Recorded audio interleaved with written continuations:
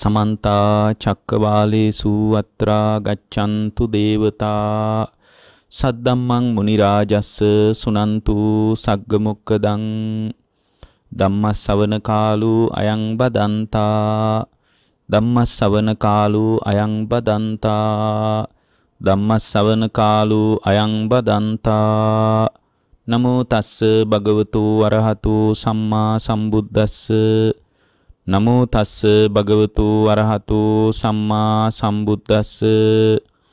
නමෝ තස්ස භගවතු අරහතු සම්මා සම්බුද්දස්ස.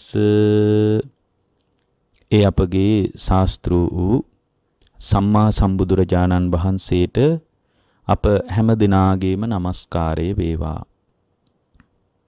පින්වත්නි සම්බුද්ධ වචනය තුලින් ජීවිතය දිහා බලන සැබෑ ශ්‍රාවකයෙකුට මේ ධර්මයේ කියලා කියන්නේ මහා අනර්ග ඖෂධයක්. භවයේ පීඩා විඳින භව රෝගය සුවපත් කර ගැනීම පිණිස අද්විතීය ඖෂධයක්. මේ ඖෂධයේ වටිනාකම අපිට කියන්න පුළුවන් කමක් නැහැ. එච්චරට මේ ඖෂධය අපිට වටිනවා. මොකද මේ ඖෂධයේ මේ ඖෂධය බුදු කෙනෙක්ගේ සොයා ගැනීමක්. ලෝකේ කිසිවෙක්වත් මේ බඳු ඖෂධයක් ගැන කතාවක් දන්නේ නැහැ. ඒ නිසා මේ ලැබිච්ච බුද්ධ ශාසනයේ ලැබිච්ච මේ ප්‍රතිලාභය ලෝකේ කුමන තැනකවත් ලැබෙන්නේ නැති නිසා මේ ඖෂධය ඊට සිත්සේ පානය කිරීමක් විනා අපට කළ හැකි අතිරේකව කාරණයක් නැහැ. භවය කියන්නේ අනතුරක්. භවය කියන්නේ පීඩාවක්. භවය කියන්නේ විඩාවක්. භවය කියන්නේ දිනුමක් පේන්නේ නැති සීමාවක් පේන්නේ නැති තරංගයක්. මේ තරඟේ විඩාව පීඩාව සංසිඳව ගන්න පොඩි පොඩි දේවල් මෙහින් හම්බුණාට දැන් සාමාන්‍ය දීර්ඝ තරඟයකට අවතීර්ණ වෙච්ච කෙනෙක් අපි දුවන තරඟයක්ම කියමු. දීර්ඝ වශයෙන් තරඟයට අවතීර්ණ වෙච්ච කෙනෙකුට වතුර දෙන්න පුළුවන්, ග්ලූකෝස් දෙන්න පුළුවන්. ඔය එයාගේ විඩාව සංසිඳව ගන්න එක එක දේවල් දෙන්න පුළුවන්.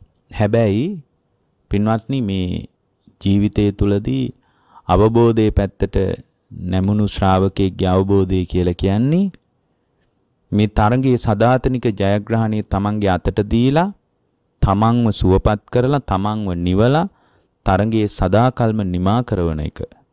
ඒ නිමාව තුළ පරාජිතයෙක් විදියට මිය යාම බුදුදහම අපේක්ෂා කරන්නේ සත්‍ය වශයෙන්ම ජයග්‍රාහකයෙක් විදියට නිමාව සනිටුහන් කරන තැනකයි බුදුදහම නවතින්නේ.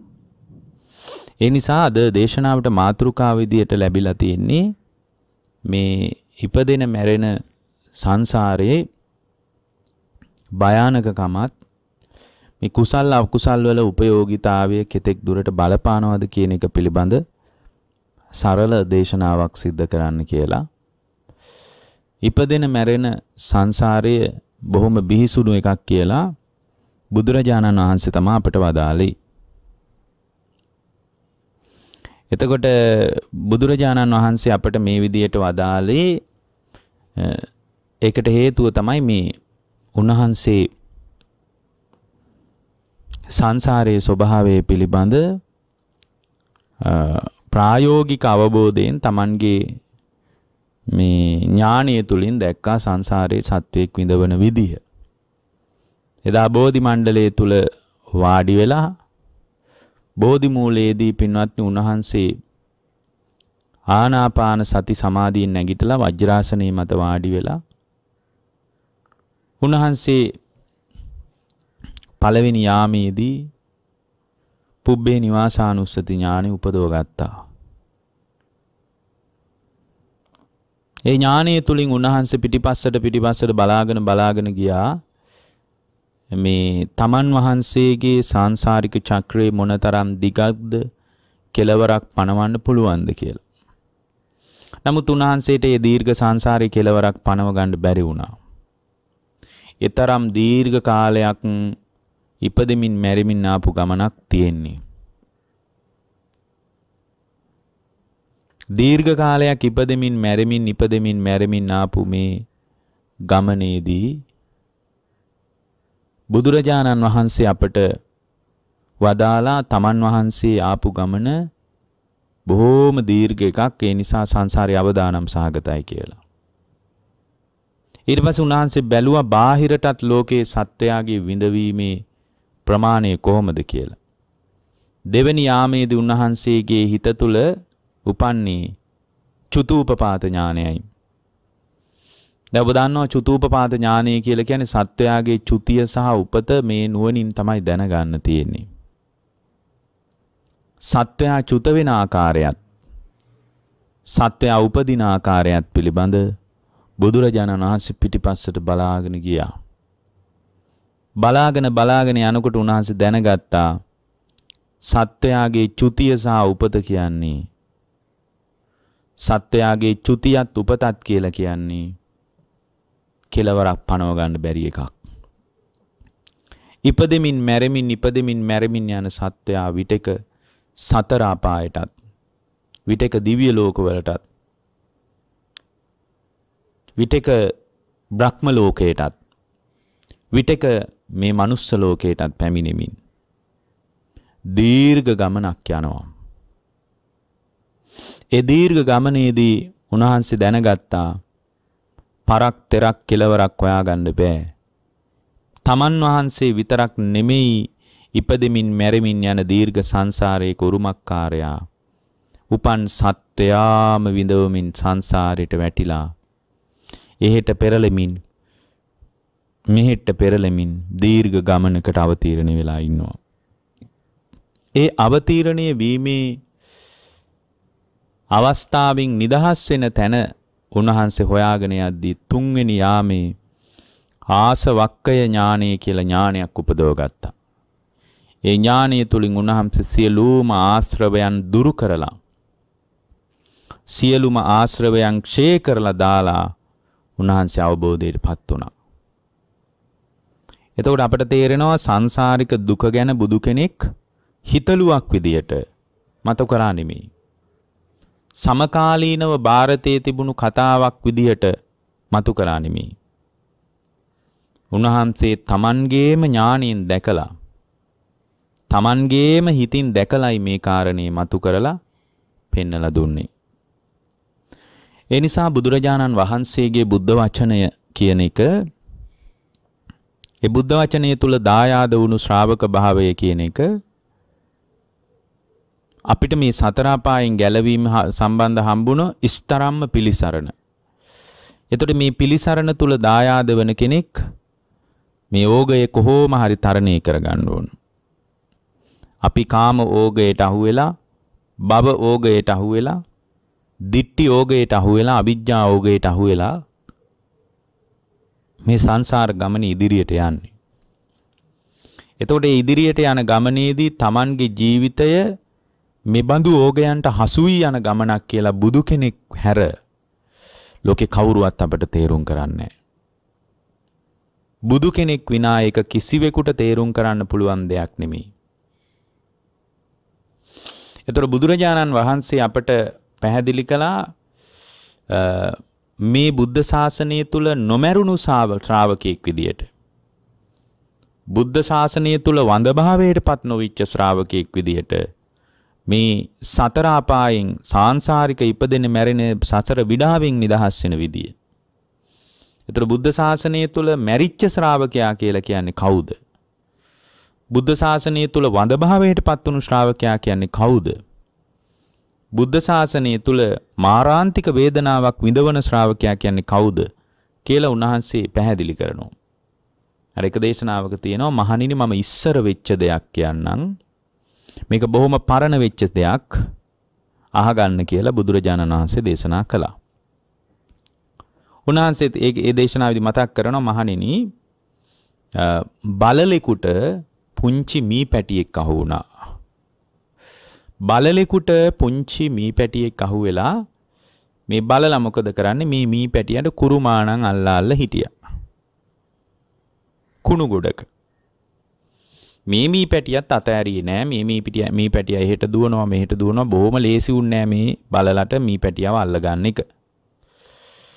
කුරුමාණන් අල්ලා අල්ල හිටියා. මේ විදියට කුරුමාණන් අල්ලා අල්ල ඉන්නකොට පින්වත්නි එක පාරටම මේ බලලා මේ පුංචි මී පැටිය අල්ලගත්තා. අල්ලගත්ත පීඩනයේ වැඩිකමට එහෙම්ම කටේ දාගත්තා. එහෙම්ම කටේ දාගෙන මේ මී පැටියා හපන්නේ නැතුව වැඩිය හපන්නේ නැතුව එහෙම ගිල්ලා පොඩි මී පැටියෙක්. එතකොට මේ මී පැටියා මොකද කරන්නේ මී පැටියා එහෙට මෙහෙට තැලුනට මලේ නෑ. මේ මී පැටියා මොකද කරන්නේ අර බලලගේ බඩවැල හපන්න පටන් ගත්තා. පොඩි මී පැටියේ. බඩවැල හපන්න පටන් ගත්තා කන්න පටන් ගත්තා. දැන් මේකෙන් මේ බලලට මුහුණ දෙන්න වෙන අත්දැකීම් දෙකක් තියෙනවා.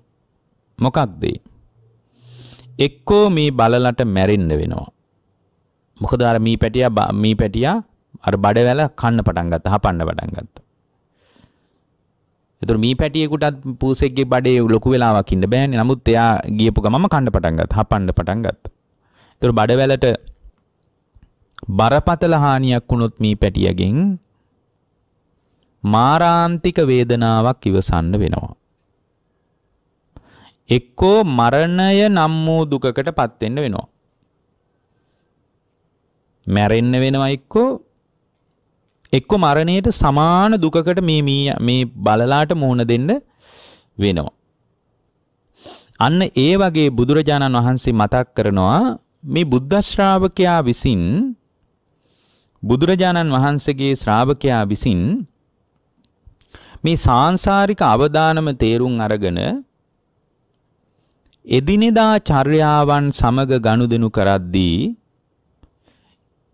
ඒ පුද්ගලයා කය රැකගෙන නැත්තං වචනය රැකගෙන නැත්තං මනස රැකගෙන නැත්තම් මොකද මේ පින්නතුන් අහනවා රැස් කරන කුසලා කුසල කොයිතරම් දුරට බලපානවද කියලා. අන්න ඒකටයි මම මේ කියන්නේ. කය රැකගෙන නැත්තං වචනය රැකගෙන නැත්තං මනස රැකගෙන නැත්තං ඒ කියන්නේ ඉදිනෙදා ගනුදෙනු කරද්දි භික්ෂුවක් හෝ වේවා ගිහියෙක් හෝ වේවා බුදුරජාණන් වහන්සේගේ නාමයෙන් ධර්මයේ දිනු කරන්න ආපු කෙනෙක්. ඒ වගේම සතිපට්ඨානය තුල සිහිය පිටවාගෙන නැත්තම් හැම බුද්ධ ශ්‍රාවකයෙකුටම අයිති දෙයක් මේක. හැම බුද්ධ ශ්‍රාවකයෙකුටම අයිති දෙයක්. මොකද බුද්ධ ශ්‍රාවකයෙක් නම් එයා බුදුරජාණන් වහන්සේගේ ධර්මයේ තුල දායාද වෙච්ච කෙනෙක් නම් එයාට මේ නිර්ණායක හොයන්න බෑ මේ ගැළවීම පිණිස. ඒ හැම කෙනෙකුට මේ න්‍යාය අතිශය සාධාරණයි. සතිපට්ඨානය තුල සිහිය පිහිටවාගෙන නැත්තම් ඉන්ද්‍රිය සංවරය නැත්තම් මොනවද නැත්තේ? කය රැකගෙන නැහැ. වචනේ රැකගෙන නැහැ.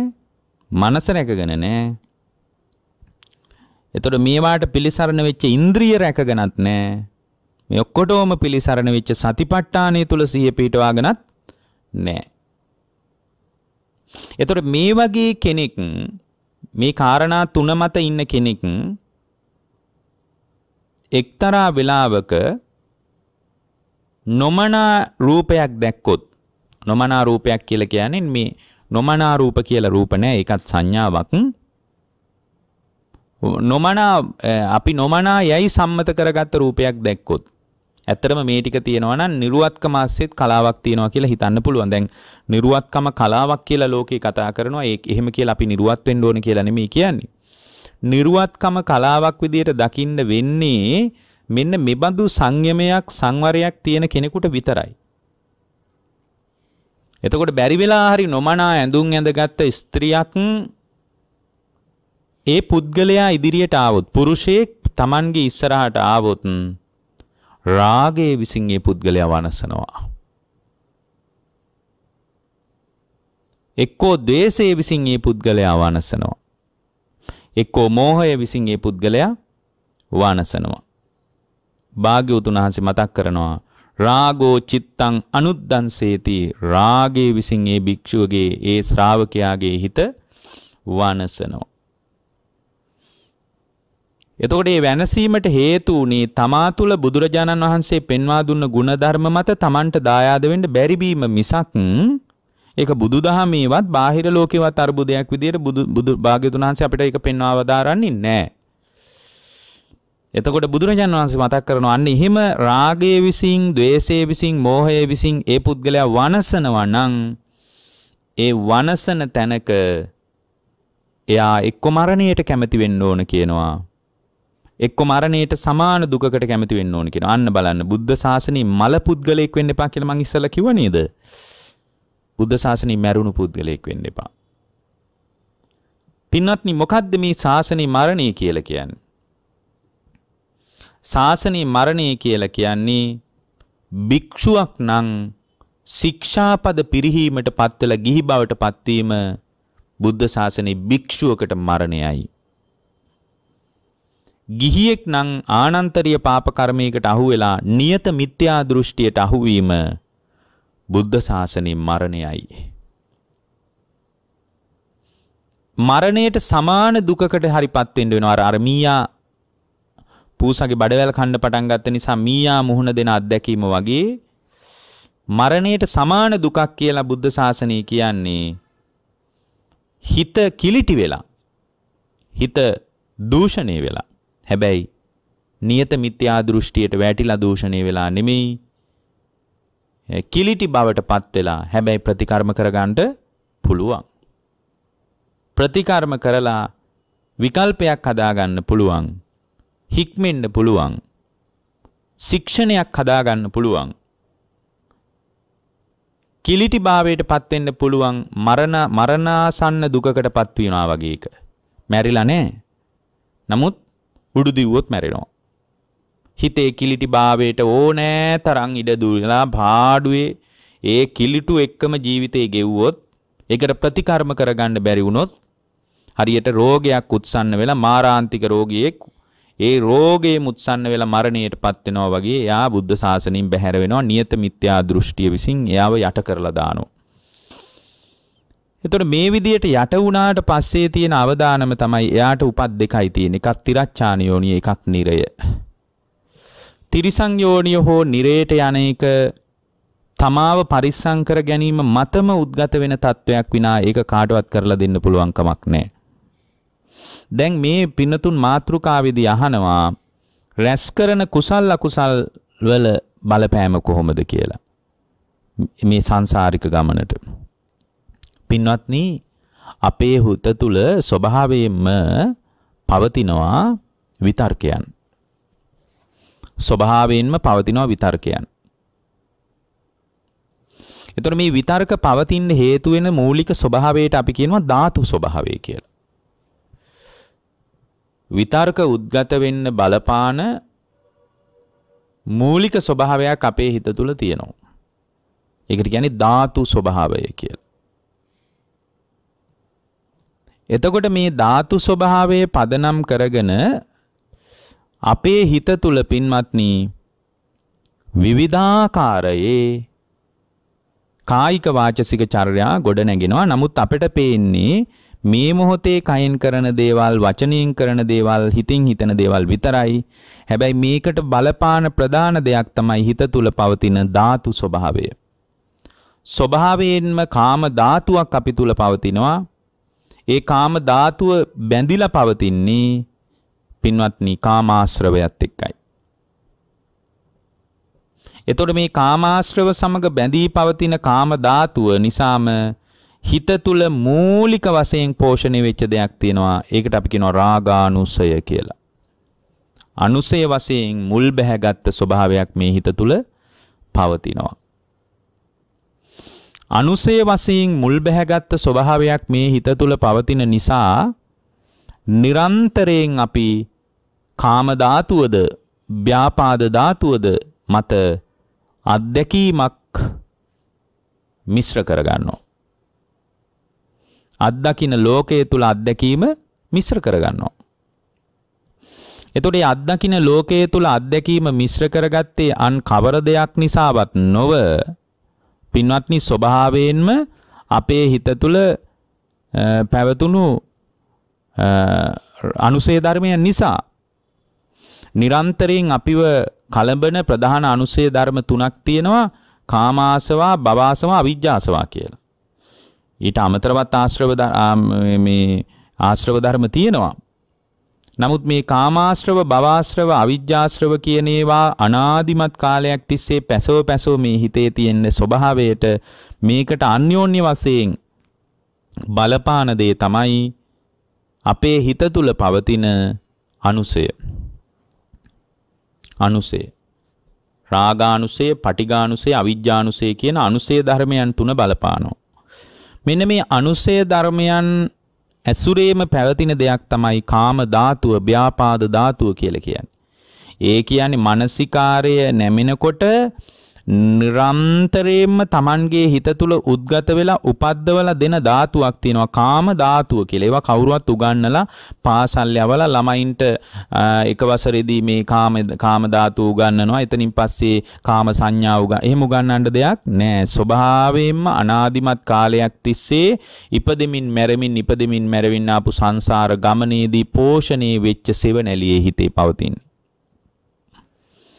ඒ බඳු ස්වභාවයන් මේ හිත තුළ නිරන්තරයෙන් උද්ගත වෙලා පවතිනවා. එතකොට මේ නිරන්තරයෙන් උද්ගත වෙලා පවතින ස්වභාවය නිසාමයි පින්වත්නි අපේ හිත තුළ නිර්වතුරුව මේ මේ ලෝකේ කයෙන්ද වචනයෙන්ද මනසින්ද කර්ම සකස් කර ගැනීම සිද්ධ වෙන්නේ.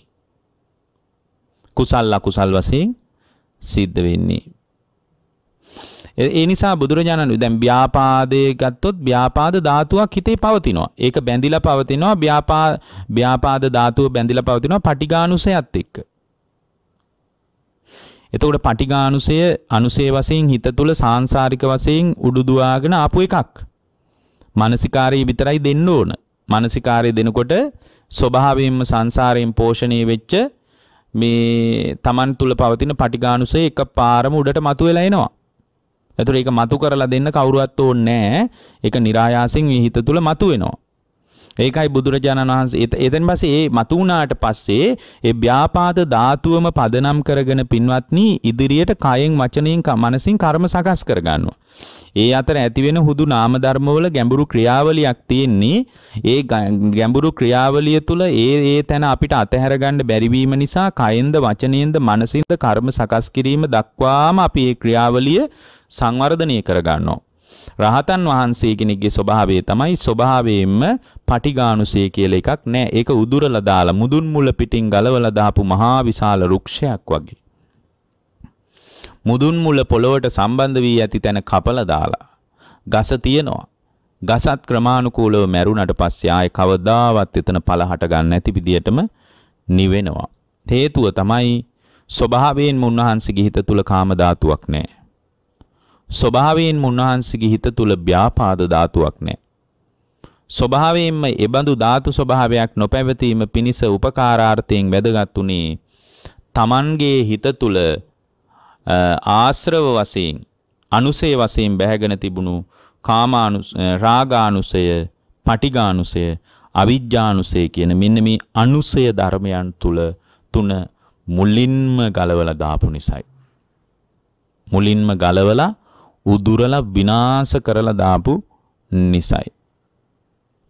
ව්‍යාපාද ධාතුව නිසාම පින්වත්නි ඒ පුද්ගලයාගේ හිත තුළ උද්ගත වන ඊළඟ දේ තමයි ඒත් එක්කම උපදින දේ තමයි ව්‍යාපාදේ පදනම් කරගෙන සංඥා මනසට ගොඩනගෙනවා.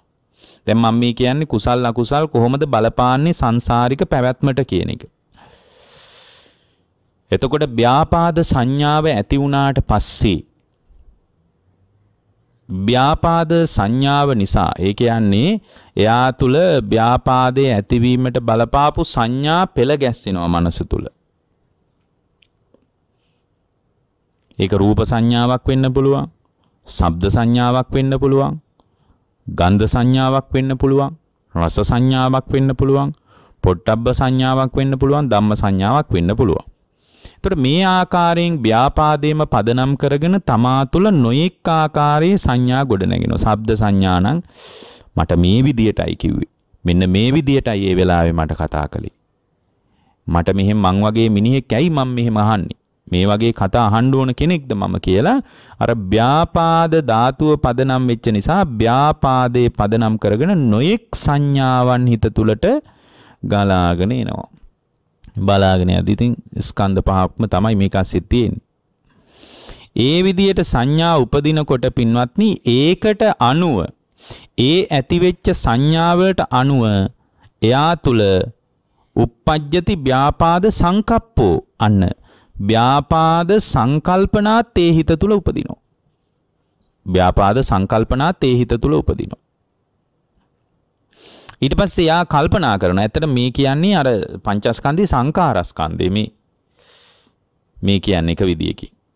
සංකල්පනාත් හිත තුල උද්ගත වෙනවා. දැන් බලන්නකෝ ඔබට කවුරු හරි බැන්නොත් Taman අකමැති කෙනෙක් දැක්කොත් අකමැති කෑමක් මුණ ගැහුනොත් මේ විදියට ඇතිවෙන මේ කාරණා නිසා ව්‍යාපාද ධාතුවම මතුවෙලා ව්‍යාපාද සංඥා ගොඩනගාගෙන ඒ ඒ මොහොතේ සංඥා කියන්නේ අඳුන ගන්නවා කියන එකනේ සංජානාති කියන්නේ. අඳුනා ගැනීම නිසාම නොයෙක් ආකාරයේ සංකල්ප හිතට ගලාගෙන ගලාගෙන ගලාගෙන එනවා. එක එක සංකල්ප හිතට ගලනවා. එතකොට මේ සංකල්ප Tamanගේ හිතට ගලාගෙන ගලාගෙන එනකොට ඒ ව්‍යාපාදයේ කෙරෙහිම හිතේ ඡන්දයක් උපදිනවා. ඊට පස්සේ ආව එයා අකුසලේ පැත්තට යට වෙනවා ඡන්දයක් උපදිනවා ව්‍යාපාදයට. ඒ ව්‍යාපාදයේ ඇති වෙච්ච වෙලාවේ පුදු ඒකටම ඡන්දයක් උපදිනවා. කැමැත්තක් උපදිනවා. එතකොට දැන් බුදුරජාණන් වහන්සේ අපට උගන්වන්නේ ද්වේෂසිතක් ඇති වුණාම රාගසිතක් ඇති වුණාම ඇති වුණ බව දැනගන්න කියලානේ. සරාගං සරාගං චිත්තං සරාගං වා චිත්තන්ති පජානාති කියන්නේ. ඒ ඒ වෙලාවට එයාව පරිස්සම් කරලා දෙන්න මූලික ලක්ෂණ මොකක්වත් නැහැ. අර අපි ඉස්සෙල්ලා මීයකුයි පූසෙකුයි කතාව කියලා අපි කිව්වේ. කය රැකගෙන නැත්තම් වචනේ රැකගෙන නැත්තම් මනස රැකගෙන නැත්තම් සතිපට්ඨානී සිහිය පිටවාගෙන නැත්තම් ඉන්ද්‍රිය සංවරේ නැත්තම් පින්වත්නි යාව වනසනවා කියලා. දැන් මේ වනසෙන්ඩ යන්නේ. මේ බැනසෙනවා කියලා කියන්නේ යා මෙහි ජීවිතයේදී යාගේ ආර්ථික හානි වෙනවා වගේ ස්වල්ප කාරණාම නෙමෙයි. සාංශාරික වශයෙන් අනාථ වෙලා වෙනසිලා යන ශ්‍රාවක භාවයක් ඇති වුණොත් ඒ අවදානම ඔය ඔක්කොටම වඩා ඊටා බරපතල භයානක අවදානමක්.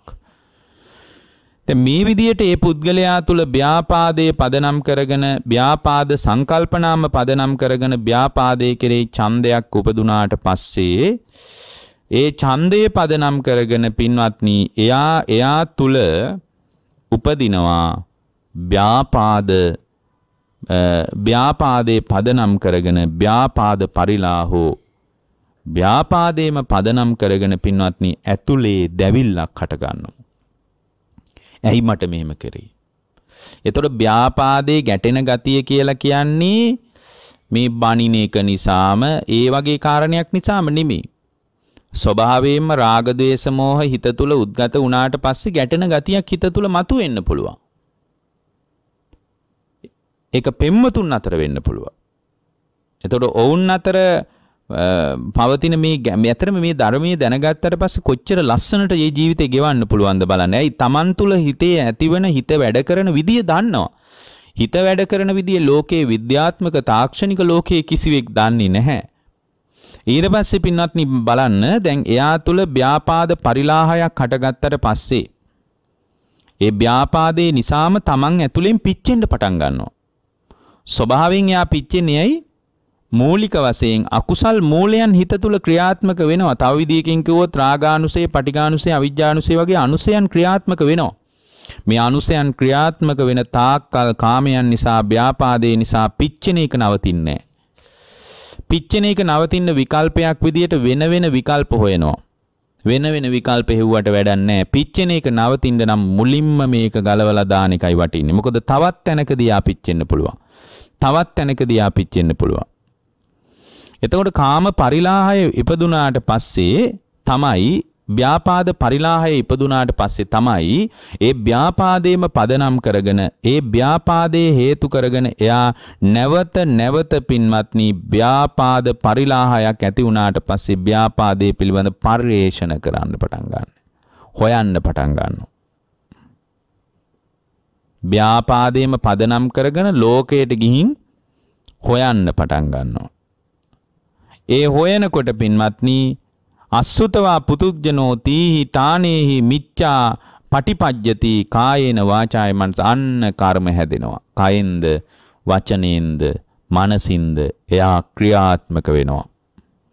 කයෙන්ද වචනයෙන්ද මනසින්ද ක්‍රියාත්මක වෙන තැනකට එයාව තල්ලු කළේ මනසේ පවතින අනුසීය ස්වභාවයයි. මනස තුල පවතින ධාතුමය ස්වභාවයයි. මනස තුල පවතින ආශ්‍රවමය ස්වභාවයයි. එතකොට මෙන්න මේ ස්වභාවය පිළිබඳ හොයාගෙන හොයාගෙන ගිහින් ඒකට විකල්ප කළාට පස්සේ ව්‍යාපාදය ව්‍යාපාද ධාතුව කියලා ස්වභාවයක් උපදින්නේ මේ අත්දකින්න ලෝකේ. අත්දකින ලෝකයෙන් ව්‍යාපාද ධාතුවක් උපදින් නැතිකොට ව්‍යාපාද සංඥාවත් ව්‍යාපාදේ නිසා ඇතිවෙන විවිධ සංකල්පනාවත් ව්‍යාපාදේ නිසා තමා තුළ උද්ගත වෙන ව්‍යාපාදේ කෙරෙහි ඇතිවෙන බරපතල කැමැත්තවත් ව්‍යාපාදේත් නිසා ඇතිවෙන කැමැත්ත පදනම් කරගෙන පින්වත්නි එයා තුළ ඇතිවෙන අභ්‍යන්තර ව්‍යාපාදේ පදනම් කරගෙන ඇතිවෙන පිච්චීමක්වත් පිච්චීමක්වත් ඒ පිච්චෙන්ඩ පිච්චෙන්ඩ ඒ පුද්ගලයා තුළ අභ්‍යන්තරය තුළ සම්පූර්ණයෙන් ඇතිවෙන පිච්චෙන කාරණයට විසඳුම් වශයෙන් හොයන ගතියක්වත් එකන ඒකට විකල්ප වශයෙන් එළියට ගිහින් හොයනවා. හොයනකොට එයාට හම්බෙන මෙහි ඊටාම ස්වල්ප විකල්ප. මේ ඔක්කොම කාම ධාතුව නිසා ව්‍යාපාද ධාතුව නිසා ඇතිවෙන තත්ත්වයක් විදියට එක්ක කාම කාමරාගානුසය, පටිඝානුසය, අවිජ්ජානුසය කියන අනුසය තත්ත්වයන් නිසා උද්ගත වෙන දෙයක් කියලා යා මුලටම ගිහින් නිදාණයට විසඳුම් හොයන්න ඉදිරිපත් වෙන්නේ එයා ඒ වෙනුවෙන් පින්වත්නි ඒ පටිගයම පදනම් කරගෙන පරියේසමානෝ අස්සුතවා පුදුග්ජනෝ තීනි තානේහි මිච්ඡා පටිපජ්ජති කායන වාචාය මනසා කයෙන්ද වචනයෙන්ද මනසින්ද මිච්ඡා ප්‍රතිපදාවකට බැහැ ගන්නවා අපි ඒකට කියනවා අකුසල් කියලා. අන්න අකුසලයේ හදලා දුන්නොත් අකුසලයේ හදලා දුන්නොත් කර්මයේ විසින් ඒ කර්මයේ විසින් කරපු වැඩේ නිසා කර්මයේ විසින් කරලා දුන්න වැඩේ නිසා පින්වත්නි ඒකාන්ත වශයෙන්ම ස්ථීර වශයෙන්ම එයාට අපමණ දුක්ඛ ස්කන්ධයක් විඳවන්න වෙනවා. ඇයි විඳවන්න වෙන්නේ? ඇයි අර කයෙන් වචනින් මනසින් කරගත්ත අසෘතවත් පෘ탁ජනීය ලක්ෂණයන් පදනම් කරගෙන එයාට භවය කියලා එකක්, ජාතිය කියලා එකක්, ජරා මරණ කියලා එකක් කායාය පැනවෙනවා. ආ එහෙමනම් අපි මුල්ලම තැනට ගිහින් Tamanගේ හිතේ ස්වභාවය අඳුන ගන්න ඕන. මේ ඔක්කොම අවුල් ඇති වෙන්නේ මේ ඔක්කොම ගැට ටික මා තුල මතුවෙන්නේ ස්වභාවයෙන්ම මා තුල කාම ධාතුව, ව්‍යාපාද ධාතුව, අවිජ්ජා ධාතුව කියලා ස්වභාවයක් පවතින නිසා මේවා සංසාරයෙන් පෝෂණය වුණා ඒවට අපි අනුසය කියනවා. කාමරාගානුසය, පටිඝානුසය, අවිජ්ජානුසය කියලා ප්‍රධාන අනුසයන් තුනක් විදිහට කතා කරනවා. ආශ්‍රවමය තත්වයෙන් මේවා ක්‍රියාත්මක වෙනවා. කාමාශ්‍රව, භවආශ්‍රව, අවිජ්ජාශ්‍රව, දිට්ඨ්‍යාශ්‍රව කියලා අභිධර්ම ක්‍රමයට අනුව නම් එතකොට මේ විදියට තමා තුළ උද්ගත වෙන කාරණාව නිසා පින්වත්නි එයාගේ හිත තුළ ඇති වෙන මේ ක්‍රියාවලිය නිසා කයෙන්ද වචනයෙන්ද මනසින්ද කර්ම හදා ගන්නවා. මෙන්න මේක තමයි ඒක කුසල් වෙන්නත් පුළුවන් අකුසල් වෙන්නත් පුළුවන්. ඒක පිනක් වෙන්නත් පුළුවන් පවක් වෙන්නත් පුළුවන්. නමුත් පිනක් වුණත් පවක් වුණත් භවයේ පැනවෙනවා නම් ඒ භවයේ පැනවෙන තැනක බුදුරජාණන් වහන්සේ අපට මේ නිදහසක් ලබා දීලා නැහැ. කොතන හරි භවයේ පැනවෙනවා නම් භවයේ පැනවෙන්නේ යම් තැනකද ඒ භවයේ පැනවෙන තැනදී අපිට පිළිසරණක් තියනවා කියලා මතක් කළේ නෑ. ඒකයි ඉදිරියට ධර්මයේ දියුණු කරන කෙනා පිනද අතහැරලා දමමින් සම්පූර්ණයෙන් දුක නිමා කරගන්න තැනකට Tamanගේ චිත්තසංතානී ගොඩනගා ගනිමින් ඉදිරියට ගුණ ධර්මයක් දියුණු කරගෙන දියුණු කරගෙන යන්න අවශ්‍ය වෙන්නේ පින්වත්නි. එතකොට බුදුරජාණන් වහන්සේ අපට පැහැදිලි කරනවා ඒ පිළිබඳ ගැඹුරින් අවබෝධ කරගෙන කුසලයක් පිනක් හෝ පවක් හෝ Tamanගේ ජීවිතය තුළ සංවර්ධනය නොවන විදියට හිත හදා ගැනීම පිණිසයි බුදුරජාණන් වහන්සේ ස්කන්ධයන් පිළිබඳ යථාර්ථ අවබෝධයේ පැත්තට ශ්‍රාවකයා පොළඹවන්නේ. මේ ස්වභාවයෙන්ම අපේ හිත තුළ පවතින තත්ත්වයන් ගැන දැන් කර්මය නම් කර්මයේ සම්බන්ධ ස්වභාවයෙන්ම පවතින තත්ත්වයන් ගැන අපට පින්වත්නි පැහැදිලි අවබෝධයක් තියෙන්න ඕන. මොකද මේ කර්මය කියන එක නිසාම නැවත නැවත අපිට මේ සාංශාරික ගමනට එකතු වෙන්න වෙනවා. මේ සංසාරයට සාදු කියන්න වෙනවා. එතකොට මේක මොකද උපන් සත්වයා බුදුරජාණන් වහන්සේ මතක් කරන්නේ කර්මයේම දායාද කරගෙන කර්මයෙන්ම උත්පත්ති ස්ථාන කරගෙන ඉන්නවා කියලයි. එතකොට එහෙමනම් මේකට తాවකාලික විකල්පවලට යනවට වඩා හොඳම දේ තමයි සම්පූර්ණයෙන් නිදානේ හොයලා ඒ නිදානයටම බෙහෙත් ටික කරලා මේ මේ අරුබුදය සමනය කරගන්න එක පින්වත්. ඒ අරුබුදේ සමනය කරගන්න තමයි බුදුරජාණන් වහන්සේ මතක් කළේ මහණෙනි හකුලුවා ස්කන්ධයන්ගේ දුක දකින්න කියලා. ස්කන්ධයන්ගේ දුක දකිනකොට පිනක් තුල මේ ඇතිවෙන ක්‍රියාවලිය තුලත් පවක් තුල මේ ඇතිවෙන ක්‍රියාවලිය තුලත් ස්කන්ධයන්ගේ ක්‍රියාත්මක වීම දැක්කට පස්සේ මම කරනවා මට කරනවා මට බනිනවා මට ගහනවා මට මම ගහනවා මම බනිනවා මම කරන දේකුත් නැහැ එළියෙන් කෙරෙන දේකුත් නැහැ කියලා ලෝකේ පරමාර්ථ වශයෙන් සත්‍ය අවබෝධයේ පැත්තට ඒ පුද්ගලයාගේ හිත නැමෙන්න පටන් ගන්නවා. ඒ විදියට සත්‍ය අවබෝධයේ පැත්තට ඒ පුද්ගලයාගේ හිත නැමුණට පස්සේ ඒ සත්‍ය අවබෝධයේ පැත්තට නැමිච්ච පුද්ගලයාගේ ජීවිතය තුළ මේ අවබෝධයේ අවබෝධය අවබෝධය කියන ස්වභාවය ප්‍රත්‍යක්ෂ වෙනවා. දැන් බුදුරජාණන් වහන්සේ අපට මතක් කරනවා මේ කර්මයේ පිළිබඳ තැන් කීපයකදී Tamanගේ නුවණ දියුණු කරගන්න කියලා. කොහොමද? කම්මං භික්කවේ වේදිතබ්බං කර්මයේ කියන්නේ කර්මයේ කියන්නේ මොකද්ද කියලා හරියට දැනගන්න ඕන. එතකොට කර්මය කියන්නේ මොකක්ද කියලා දැනගන්නකොට ඔබ ප්‍රවේශම් විය යුතු තැනක් තමයි මේ නව වශයෙන් නැවුම් වශයෙන් ඔබ තුලින් සිද්ධ වෙන කර්මය. මේ අත්විඳීම පුරාණ කර්මයට සම්බන්ධයි. මේ හැම අත්දැකීමක්ම ඔබ තුල ඇතිවෙන නොසන්සුන්කම පසුතැවීම මේ සියල්ලටම පැරණි කර්මයක සේයාවක් තියෙනවා. දැන් ඔබ දක්ෂ වෙන්න ඕන පරණ කර්මයේ විසින් මේ ස්කන්ධයන් හදලා දීලා ඉවරයි දැනටත්. පරණ කර්මයේ විසින් මේ රූපය හදලා දීලා ඉවරයි. පරණ කර්මයේ විසින් මේ විඳීම් හදලා දීලා ඉවරයි. පරණ කර්මයේ විසින් සංඥාව හදලා දීලා ඉවරයි. පරණ කර්මයේ විසින් සංස්කාර හදලා දීලා ඉවරයි. පරණ කර්මයේ විසින් විඥානයේ ප්‍රතිසන්දිය ලැබලා දීලා ඉවරයි.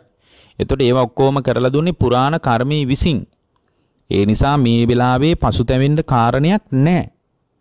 විඩාවට පත්වෙන්න කාරණයක් නැහැ. පීඩාවට පත්වෙන්න හේතුවක් නැහැ. ඇයි? මොකට පීඩාවට පත්වෙන්නද තමන් කරගත්ත විදිහට තමයි මේ උතාගෙන ආපු දේවල් ටික තමයි දැන් මේ ලිහලා බලන්න වෙලා තියෙන්නේ. උතාගෙන ආවේ වෙන කවුරුත් නෙමෙයි මේ මල්ල බැඳලා දුන්නේ දෙවියෙක්වත් බඹෙක්වත් මාරයෙක්වත් බුදුරජාණන් වහන්සේවත් ලෝකේ කවර කෙනෙක්වත් නෙමෙයි මේ මල්ලට දාගත්තේ අවශ්‍ය දේවල් හෝ අනවශ්‍ය දේවල් ඔබ විසින්මයි. ඉතින් දැන් මේ මල්ල ලිහලා බලනවා වගේ වැඩක් තමයි මෙතන උනේ. මේ මල්ල ලිහලා බලලා අපෝ මේවට මම කැමති නෑ මේවට මම කැමති මට මොකටද මේවා කියලා කිව්වට වැඩක් නෑ මල්ලට දාගත්තෙත් ඔහෙලා විසින්මයි. එහෙමනම් අපි මේ විදියට මේ පුද්ගලයා ඉපදෙමින් මැරෙමින් යන සංසාර ගමනේ පින්පව් කොයිතරම් සංසාරික ජීවිතයට බලපානවද කියන කාරණේ මේ මාතෘකාව ඒකනේ. ඒක ගැන අවබෝධයක් තියාගන්න ශ්‍රාවකෙක් හොඳ තැන් කීපයකදී Tamanගේ නුවණ හසුරුව ගන්න එක වැදගත්. පළවෙනි එක තමයි බුදුරජාණන් වහන්සේගේ ශ්‍රාවකයෙකුට තියෙන ඕන කම්මම් භික්කවේ වේදිතබ්බං. මේ කර්මය කියන්නේ කුමක්ද කියලා දැනගන්න ඕන. කර්මය කියන්නේ කුමන පදනමක් මත පිහිටිය ස්වභාවයක්ද කියන නුවණ ශ්‍රාවකයාට තියෙන්න ඕන. එතකොට මේ එතකොට කර්මය කියන්නේ කුමක්ද? කර්මය කියන්නේ මොන වගේ ස්වභාවයක් මත පවතින දෙයක්ද කියලා ඒ ශ්‍රාවකයා හොඳට දැනගන්න ඕන. ඊළඟට කම්මං නිදාන සම්භවෝ කර්මයේ නිදානය කියන්නේ මොකක්ද කියලා දැනගන්න ඕන. කර්මයේ නිදානය කියන්නේ නිදානයේ ස්කෙබඳු ස්වභාවයකක්ද කියලත් දැනගන්න ඕන. කම්මානං වේමත්තතාවේදි තබ්බා කර්මයේ වේමත්තතාවය කියන්නේ කියන්නේ වේමත්තතාවය කියන්නේ මේ කර්මයේ විවිධත්වය කියන්නේ මොකක්ද කියලා දැනගන්න ඕන පින්වත්නි. කම්මානං විපාකෝ වේදිතබ්බෝ. ඒ වගේම කර්ම විපාකයේ වේ ස්වභාවය පිළිබඳවත් අපි හොඳට දැනගන්න ඕන. කම්ම නිරෝධෝ වේදිතබ්බෝ. කර්මී නිරුද්ධ නිරුද්ධ කිරීම ගැනත් දැනගන්න ඕන. කම්ම නිරෝධගාමිනී පටිපදා වේදිතබ්බෝ. කර්මී නිරුද්ධ කරන ප්‍රතිපදාව පිළිබඳවත් බුද්ධ ශ්‍රාවකයා දැනගන්න ඕන.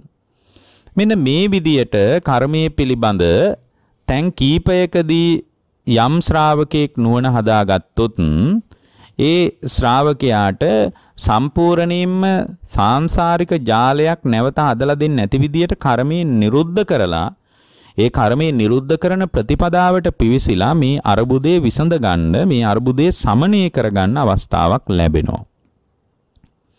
ඒක අපිට ලැබෙන ඊටාම ස්තරම් අතිශය වැදගත් අවස්ථාවක්. අතිශය වැදගත් අවස්ථාවක්. එතකොට මේ වැදගත් අවස්ථාව පිළිබඳ අපිට ඊටාම පළල් නුවණක් පළල් අවබෝධයක් හදාගන්න එක වැදගත්. පින්වත්නි මොකද්ද මේ කම්මම් බික්කවේ වේදිතබ්බං මහණෙනි කර්මයේ දැනගන්න කියන්නේ මොකද්ද මේ? කර්මයේ දැනගන්න කියලා කියන්නේ බුදුදහමේ කර්ම න්‍යායේ පදනම දැනගන්න ඕන. මොකද්ද පදනම? ඔන්න පදනම තමයි මෙන්න මේ වාක්‍ය හැමදාම ඔළුවේ තියාගන්න මේක කටපාඩම් කරලා තියෙන්නේ අපි. ඒ වුණාට මේක නිතරම ඔළුවේ තියාගන්න එක වැදගත්. චේතනාහම් භික්කවේ කම්මං වදාමි චේතයිත්වා කම්මං කරෝති කායේන වාචාය මනසා. මහණෙනි චේතනාවමයි කර්මය කියලා කියන්නේ. වෙන එකක් නෙමෙයි. මහණෙනි චේතනාවමයි මම කර්මය කියලා වදාරන්නේ බුදුරජාණන් එහෙමයි මතක් කරන්නේ. චේතයිත්වා කම්මං කරෝති කායේන වාචා මනසා චේතනාව පහල කරගෙන කයෙන්ද වචනයෙන්ද මනසින්ද පුද්ගලයා කර්ම කරගන්නවා? පුද්ගලයා කර්ම කරගන්නවා. සිතෙන්ද කයෙන්ද වචනයෙන්ද? එතකොට සිතෙන්ද කයෙන්ද වචනයෙන්ද පුද්ගලයා කර්ම කරගන්නකොට ඒ කර්ම කර ගැනීම තමයි මේ කර්මය දැනගන්නවා කියලා කියන්නේ. එහෙමනම් ඔබ හොඳට මතක තියාගන්න ඕකම තමයි අපි අර මුලින් පැහැදිලි කළේ. ඔය කියන කාරණේම තමයි අපි මුලින් පැහැදිලි පැහැදිලි කරේ. මොකද්ද? අපි පැහැදිලි කළා ඔබට මතක ඇති මේ මේ මේ චේතනාහම් භික්කවේ කම්මං වදාමි කියන වාක්‍යම තමයි අපි අර මුලින් මේ මෙන්න මේ චේතනාව ඇති වුණාට පස්සේ ඒ චේතනාත්මක ක්‍රියාවලියක් නිසා සිතින්ද කයින්ද වචනින්ද කර්ම කරගන්නවා කියලා අපි කිව්වේ. දැන් කැමැත්ත පදනම් කරගෙන තමා තුළ උපදින කාම ධාතුව නිසාම එයාට විවිධ කාම කාමයන් පදනම් කරගෙන නොඑක් ආකාරයේ සංඥා තමා තුළ සමුදේ වෙනවා. ඒ සංඥාවන් නැති වෙනකොට ඒ සංඥාවලට අදාළව එයා කල්පනාවන් හදා ගන්නවා. ඒවට කාම සංකල්පනා කියනවා. ඒ කාම ඒ සංකල්පනා ඇති වෙනකොට පින්වත්නි ඒ සංකල්පනා කෙරෙහි යාගේ හිත තුළ කැමැත්තක් උපදිනවා. ඔන්න චේතනහම් භික්කවේ කම්මං වදාමි කිව්ව නෝකයි. එතකොට මේ කල්පනාව ඇති වෙනකොට ඒ කල්පනාවන් පදනම් කරගෙන එයා තුළ ඇතුලේ පිච්චෙන්න පටන් ගන්නවා. ඒවා ඒවා නිසා තමා තුළ ඇති ඇතුලේ ඇතුලේ දැවිල්ලක් පීඩාවක් හටගන්නවා. ඒ නිසාම යා ඒ ඇතිවෙච්ච කැමැත්තට අදාළව අර ගොඩනැගිච්ච සංඥාවලට සාපේක්ෂව එළියට ගිහින් හොයනවා. සාපේක්ෂව කිව්වේ ඒ ඒකම තමයි විවිධත්වය කියලා කියන්නේ. බුදුරජාණන් වහන්සේ මතක් කරන්නේ කර්ම කම්මානං වේමත්තතා කියලා.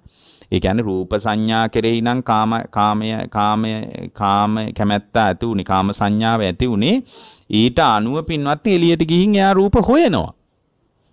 ඇයි කර්ම කර්මයේ වේමත්තතාවයක් තියෙන නිසා එහෙම කරන්නේ. ඒවා හොයද්දී එහෙම හොයන්න හොයන්න හොයන්න ඊට පස්සේ යාට ඒවා ලැබෙනවා. ලැබෙන ඒ ලැබීම පිණිස හොයලා ලැබීම පිණිස කරන දේවල් තමයි මෙතන කියන්නේ චේතයිත්වා කම්මං කරෝති කායන වචා මනසා. චේතනාව පහල කරගෙන කයින්ද වචනින්ද මනසින්ද ඊට කර්ම කර්ම රැස් කරනවා කියලා මේ කිව්වේ ඒක කුසල් හෝ අකුසල් පින පින හෝ පව ඒක ඒක කුමන ආකාරයකින් හෝ වේවා. ඒකයි මේ දෙකම අභිනන්දනේ නොකොට මහණෙනි නිවන කරා පැමිණෙව් කියලා බුදුරජාණන්සේ වදාළේ. මේකද මේ දෙකටම භවයේ පැනවෙනවා.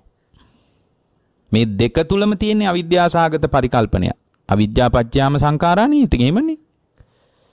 අවිද්‍යාව නිසාම පුඤ්ඤාපි සංකා අවිද්‍යාපච්චය පුඤ්ඤාපි සංකාර අවිද්‍යාපච්චය අපුඤ්ඤාපි සංකාර.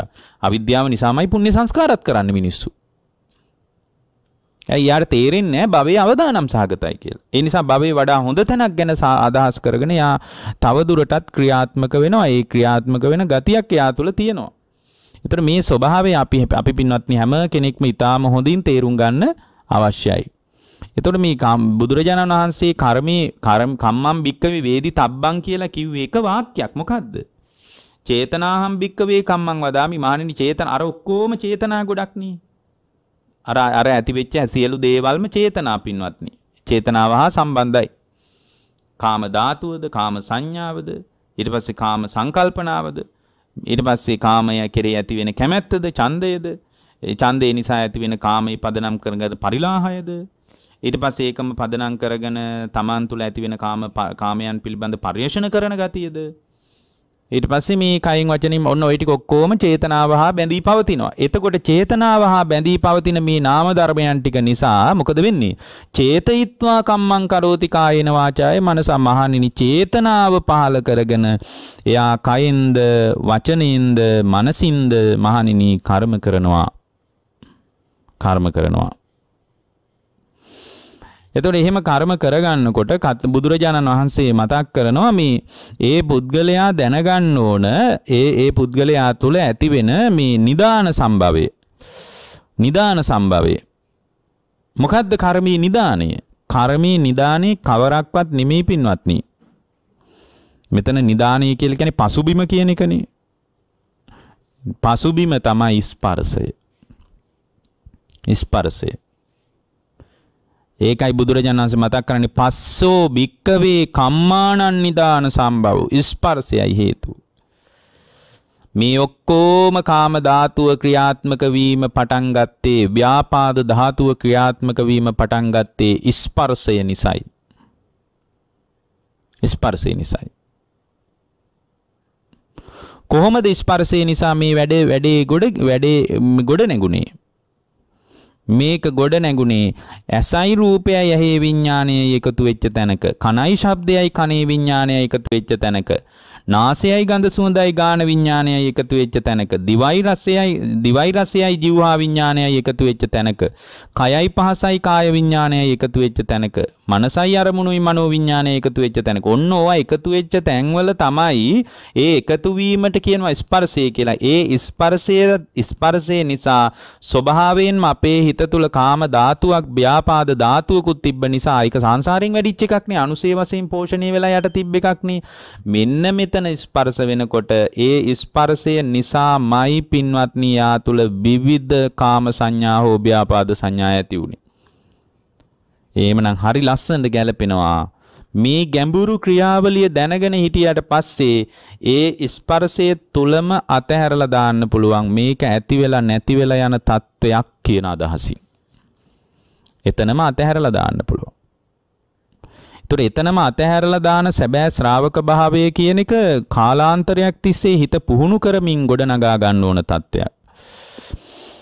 එතකොට මේ වේමත්තතාවයේ දැනගන්නකොට පින්වත්නි එයා තුල මේ සම්පූර්ණයෙන්ම නිදාන සම්භවයක් දැනගන්න ඕන ස්පර්ශයේ ස්පර්ශයේ නිසා පස්සෝ භික්කවේ කම්මාන නිදාන සම්භවෝ මහණෙනි ස්පර්ශයේ කර්මයන්ගේ පසුබිම ස්පර්ශයෙන්මයි පසුබිම සම්භවයේ ඇති වෙන්නේ ඊට පස්සේ එයා දැනගන්න ඕන කම්මානං වේමත්තතා කර්මයේ වේමත්තතාවය දැනගන්න ඕන. මොකද්ද? මේ ඔන්න ඕක තමයි අවදානම. කර්මයේ ඒකත්වයක් නම් තියෙන්නේ කිසි අවුලක් නැහැ. අපි එකතු වෙලා කයෙන් වචනින් මනසින් කර්ම කර කර ඉමු. වේමත්තතාවයක් පවතිනවා. අන්න ඒකයි අවදානම. වේමත්තතාවය කුමක්ද? මේ වේමත්තතාවය ගැන ගොඩක් අය දැනන් හිටියේ නැහැ. ගොඩාක් අය හිතුවා මේක වේමත්තතාවයක් නැහැ කියලා. සමහර අය හිතුවා දෙවියෝ මැව්වේ දෙයියෝ අතරට යන්න පුළුවන් කියලා. මහා බ්‍රහ්මන් මැව්වේ. ඉතින් අපි මහා බ්‍රහ්මන්ගේ කැමැත්තට අනුව මෙහි ආවේ. දැන් අපි හොඳට කාලා බිලෙමු මහා බ්‍රහ්මන් අතරට අපිට යන්න පුළුවන් කියලා. නමුත් බුදුරජාණන් වහන්සේ වදාලා නැහැ වේමත්තතාවයක් පවතිනවා. මොකද්ද වේමත්තතාවය? මහණෙනි මේ විවිධත්වය කියලා කියන්නේ නිරයට ගොස් මින්ද යුතු කර්ම සකස් වෙනවා. අන්න අවදානම. සිතින්ද කයින්ද වචනයෙන්ද නිරයට අරගෙන යන්න තරම් ප්‍රබල ක්‍රියා කර්ම සකස් වෙනවා. තිරිසං යෝනියට අරගෙන යන්න තරම් බලවත් කර්ම සකස් වෙනවා. പ്രേත විශේෂ විඳ යුතු කර්ම සකස් වෙනවා. සිතින් කයින් කවුරුවත් සකස් කරලා දෙනව නෙමෙයි. තමා තුළ ඇතිවෙන මේ නාම ධර්මයන්ගේ ක්‍රියාත්මක වීම තුළ තමා තුළ සකස් වෙනවා. මේ කර්ම න්‍යාය අවබෝධ කළොත් ඇත්තටම අවබෝධයට රහත අරහත්ත්වයේ දක්වාම හිත පුහුණු කරගන්න පුළුවන්. මේ තුළ ස්කන්ධයන්ගේ ක්‍රියාත්මක වීම දැක්කොත් ඒවා අමුතුවෙන් කියන්න දෙයක් නැහැ. ස්කන්ධයන් වැඩ කරන විදිය දැන් දන්නවා. අපි දේශනා මං හිතන්නේ 50ක් විතර කරලා ඇති. එතකොට මේ සම්පූර්ණයෙන් പ്രേත විශේෂයට අරන් යන කර්ම තියෙන බව දන්නවා. මේ මිනිස් ලෝකයේ විඳ යුතු කර්ම සකස් වෙන බව දන්නවා. දෙව්ලොව විඳ යුතු කර්ම සකස් වන බව දන්නවා. අන්න ඕක තමයි වේමත්තතාවය. ඒකත්වයක් පවතිනවා නම් කිසිම අවුලක් නැහැ කර්මයේ. වේමත්තතාවයක් පවතින එක තමයි ලොක්කුම ගැටලුව පින්වත්නි. වේමත්තතාවය. එතකොට මේ වේමත්තතාවයේ පිළිබඳ අපිට නුවණක් තිබ්බොත් අපිට පුළුවන් මේ යන්තම් හරි සුගතියකට යන විදියට කර්ම හැද කර්ම සකස් කරගන්න. මොකද එයා දන්නවා මිනිස් ලෝකේ උපදින විඳ යුතු කර්මත් සකස් වෙනවා. දෙව්ලොව විඳ යුතු කර්මත් සකස් වෙනවා. අපි ඒවට කුස්පින් කියලා කියනවා. නමුත් මෙතනින් නැවති නොනැවති එතනින් එහාට යන ශ්‍රාවකෙක් එයා දැනගන්න ඕන කම්ම කර්මයේ විපාක විපාකයක් දැනගන්න ඕන. විපාකේ එයාට තේරෙනවා. විපාකයෙන් ඒක එනකොට කර්මයේ නිරෝධය වේදිතබ්බ කර්මයේ නිරෝධයක් දැනගන්න ඕන. කර්මයේ නිරෝධය කියලා කියන්නේ ස්පර්ශය නිරුද්ධ වෙනකොට කර්මය නිරුද්ධ වෙනවා. එතකොට මේ සම්පූර්ණයෙන්ම නිරුද්ධ කරන ප්‍රතිපදාව ආර්ය අෂ්ටාංගික මාර්ගය ඒක කවුරුවත් දන්නේ නැහැ. බුදුරජාණන් වහන්සේගේ හිතේ විතරයි උපන්නේ. එතකොට යාට සම්පූර්ණයෙන් අර කුස්පිනින්ද පවින්ද දෙකෙන්ම නිදහස් වෙලා සදාකාලික ශාන්තිය කරා පැමිණෙන්න පුළුවන් ඒ පැමිණීමට තියෙන ඒකායන මාර්ගය තමයි ආර්ය අෂ්ටාංගික මාර්ගය. ඒකෙන් තොරව පින්වත්නි සාංශාරික ජාලේ නැවැත්මක් ගැන අපිට කතා කරන්න බෑ. එක එක විදියට භාග්‍යවතුන් වහන්සේලා වදාළ දහම් පරයයන් තුල පවතින ආර්ය අෂ්ටාංගික මාර්ගයේ ආකෘතියම තමයි.